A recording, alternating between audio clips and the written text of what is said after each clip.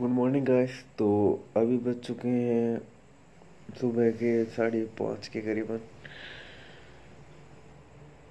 और मैं यहाँ पर उठ चुका हूँ और आज हम चलेंगे मेरे खेत में, जहाँ पे होगी मूंगों की फ़सल की कटाई। तो अभी तो काफ़ी लोगों के पास भी जाना है जिस जिसको लेके जाना है। अब चलिए थोड़ा तैयार हो जाता हूँ और फिर चलते हैं। अभी देखो, अभी सूरज भी नहीं हो गया है और उगने वाला है तो सुबह हो गई। तो मेरे ख्याल से अब मुझे भी चलना चाहिए, मैंने भी अपनी बाइक स्टार्ट कर ली है और ये मेरा घर है और बाइक स्टार्ट कर लिए तो अब मुझे भी चलना चाहिए, क्योंकि लेट ना हो जाए लेट होते ही तो फिर कोई मतलब नहीं है। छः बज गए हैं और मैं अब निकलता हूँ घर से खेत के लिए। तो चलिए शुरू करते हैं।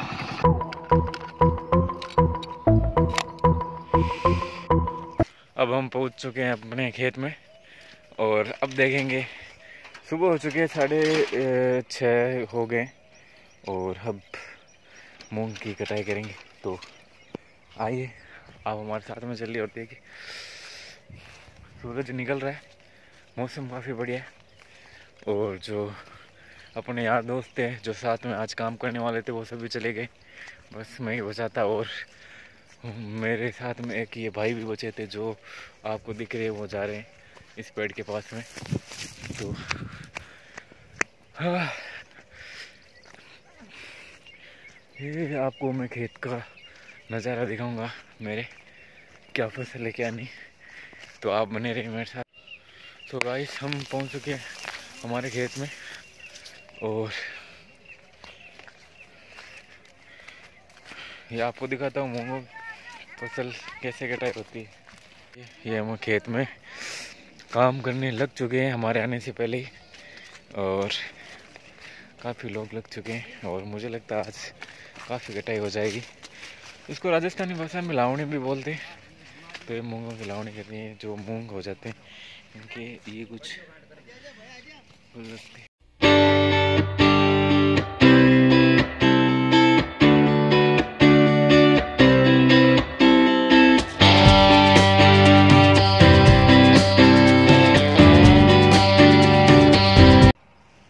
काफ़ी मेहनत की लोगों ने।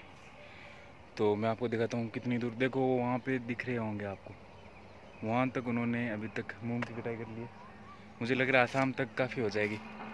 तो आपको दिखाता हूँ मैं एक बार। आधा घंटा हो चुका है यहाँ तक कटाई कर लिए।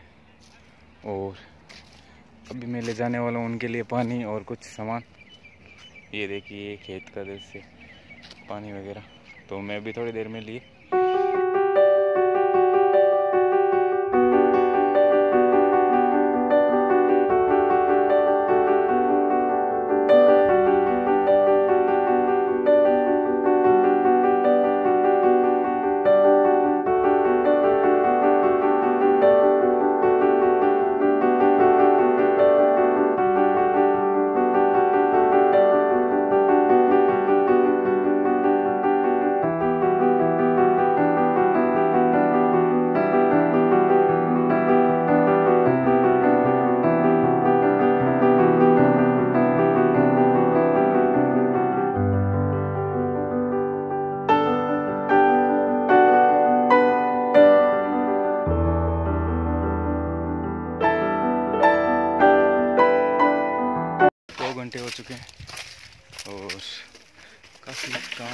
लिया है और चल रहा है अभी। तो देखते हैं।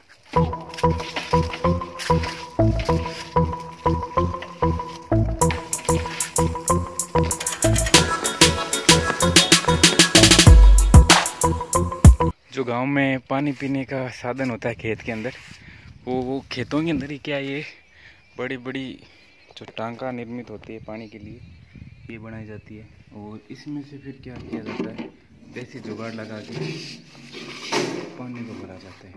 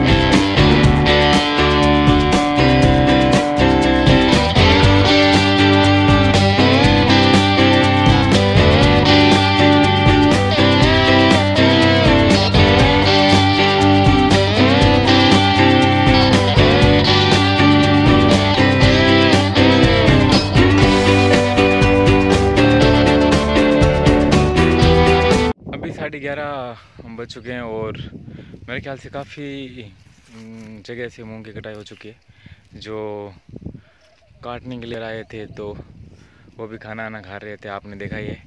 उसके बाद हम वापस लगेंगे और जो बचे हैं, उनकी वापस कटाई शुरू करेंगे। तो इसको राजस्थानी भाषा में लावणी भी बोलते हैं, एक प्रकार से देखा जाए तो। तो आज टारगेट है करीबन आधे खेत से ज़्यादा। जो ये मूंग है उनकी कटाई कर दी जाए। और फिर अगली जो बाकी है वो कल करेंगे। तो चलते हैं फिर। आपको दिखाते हैं कैसे कटिंग करते हैं।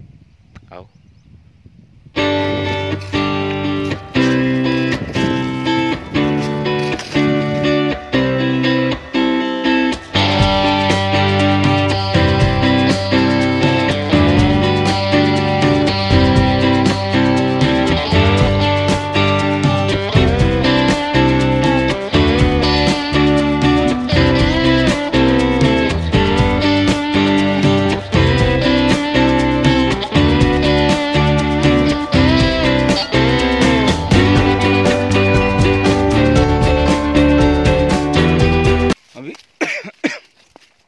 करीबन दो बज चुके हैं और मुख्य फ़सल की कटाई पूरी हो चुकी है।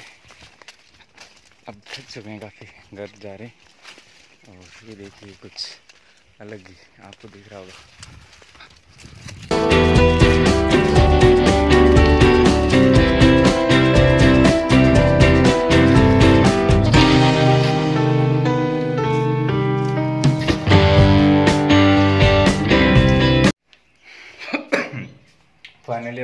पहुँच चुका हूँ। और घर पहुँचने के बाद काफ़ी थक गया हूँ। काम करते करते काफ़ी थक गया हूँ। तो मुझे अभी रेस्ट की ज़रूरत है। अभी फ़िलहाल तो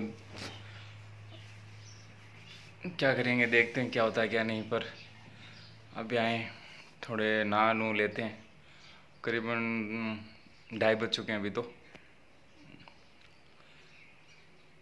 और काम करके काफ़ी ठीक लगा। कुछ ज़्यादा दिक्कत वाली बात नहीं, लेकिन थक चुके हैं काफ़ी, क्योंकि सुबह छः बजे गए थे और सुबह पाँच बजे ही उठ गए थे तो काफ़ी किसान होता है, वो बहुत मेहनत करता है आज तो काफ़ी अच्छा लगा। चलो, मिलते हैं फिर नेक्स्ट व्लॉग में। टाटा।